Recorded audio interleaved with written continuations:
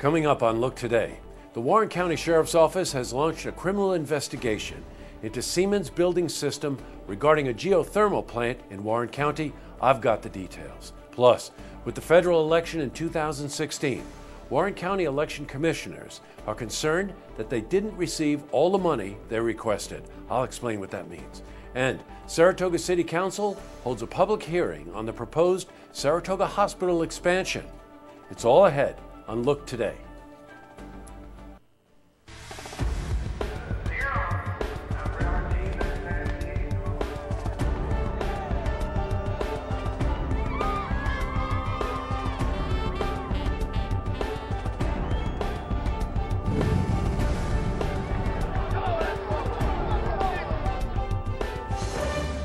Welcome, everyone. I'm Jay Hood Jackson, and this is Look Today.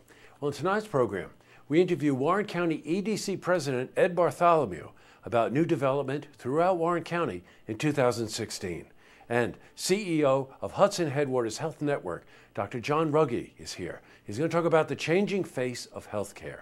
Plus, we've got your weather for the Tri North counties. But first, these headline stories. Well, in our lead story, the Warren County Sheriff's Office has opened its second investigation into Siemens Building Systems. Now, this time, the Sheriff's Office will look into a geothermal heating and cooling project that has allegedly failed to deliver, deliver results. Queensbury resident Travis Whitehead brought information showing the lack of savings. He did this before the Warren County Board of Supervisors during their monthly meeting. Whitehead was a strong advocate of investigating the cogen plant now, that was also a Siemens project. However, an investigation into the cogen led to no criminal charges being filed. Well, Warren County Sheriff Bud York said, We're going to look into it and make a recommendation to the DA's office. Well, changing from news to weather, after the region saw two days of rain, it finally stopped and the sun came out. Well, how long will it stay dry for? Well, for the latest, we're going to head to our Glens Falls Weather Center for a look at your first forecast.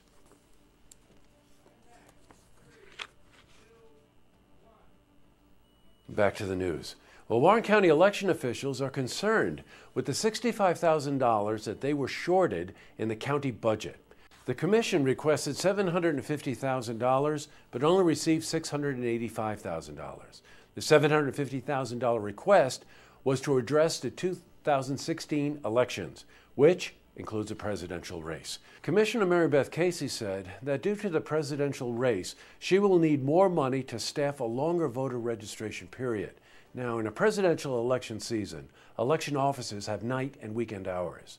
Budget Officer Frank Thomas argued that the amount they received is $17,000 more than the election office has ever spent. He said that the $65,000 increase does not need to come on the backs of taxpayers. Well, supervisors did say they would address the issue next year if it becomes a problem, suggesting they could pull from the reserve fund balance if need be. Well, also in the news, green space and planned use developments are now discussion topics in Saratoga Springs that are as popular as, you got it, parking and horse racing. The latest PUD and green space issue is in regards to the 88,000 square foot building that will house offices for Saratoga Hospital. A public hearing at Tuesday's City Council meeting had nearby residents crying foul. Residents say that the project was kept secret and that they knew and received little notification. One resident had this to say about the project. This is just a blatant attempt to see what they can get away with. The building is just a box plopped on the site with parking everywhere. Now, Saratoga Hospital representatives say that the new building will increase efficiency. Doctors would have offices within two minute walk of the hospital. Now, what are your thoughts on the project? You can head to our Facebook and Twitter pages and share your thoughts with us. And just a reminder these last two stories I told you about we cover the Warren County Board of Supervisor meetings in their entirety and the Saratoga City Council meetings in their entirety. You can check your local listings. In other news, Saratoga Springs will hold its annual tree lighting and welcome Santa Claus for the holiday season this evening. Now, if you're out in Saratoga, Broadway will be closed from Van Dam to Spring Streets. The closure will begin at 5 p.m. The event runs from 6 to 10 p.m. Well, still to come. Warren County EDC President Ed Bartholomew is back, and he's going to discuss new development in 2016 in Warren County. Plus, CEO of Hudson Headwaters Health Network, Dr. John Rugge, is here, and he's going to discuss the changing face of healthcare. Two great interviews. But first, if you see news happening, you want to share a story idea, or join us for an interview, give us a call on the hotline.